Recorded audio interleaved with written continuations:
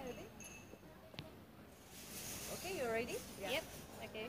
Hi, I am right now at the airport again, and this time my destination is Nepal. I will be going for seven days with a bunch of photographers, and hopefully I can learn a bunch of things from them and be a better travel writer, I guess. Um, right now it's right smack in the middle of winter in Nepal, so the temperature is between 5 degrees to 17 degrees, which is quite similar to New Zealand in summer. And since I just got back from there, I should be able to handle it.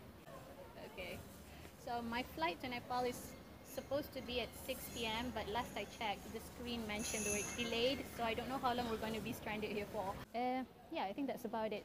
Oh, and one more surprise, I am traveling with my travel buddy who CIMB people would recognize, so say hi. Hi.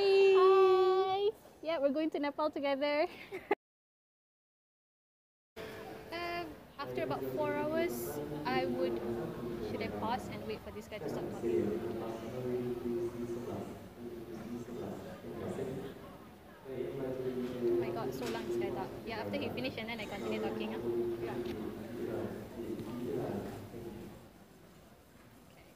So my of course, he has to speak three languages.